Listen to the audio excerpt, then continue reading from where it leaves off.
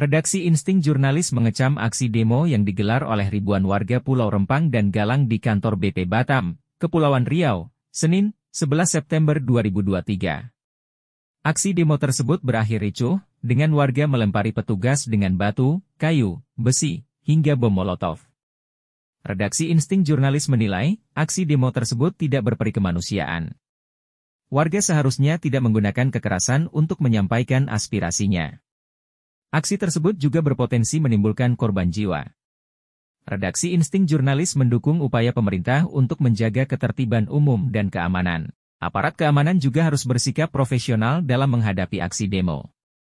Redaksi Insting Jurnalis berharap warga dan aparat keamanan dapat menahan diri dan menjaga kondusivitas di Pulau Rempang dan Galang. Selain itu, redaksi Insting Jurnalis juga memohon kepada Presiden Republik Indonesia, Insinyur Joko Widodo, agar dapat menghentikan gejolak sosial yang tidak berperi kemanusiaan di Batam.